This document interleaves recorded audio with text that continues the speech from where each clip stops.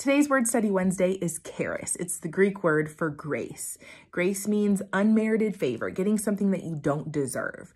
Remember what we have done unto the Lord. Maybe we've rejected him, cursed him, whatever. We do not deserve his love and his grace. And yet he's lavished it upon us.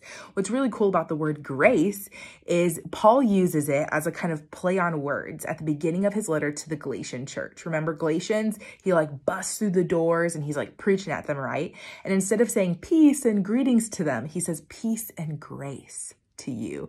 It's a play on words to say, this is what you need to hear, grace. Before I can even finish shaking your hand, saying hello, I'm just spouting grace because grace changes everything.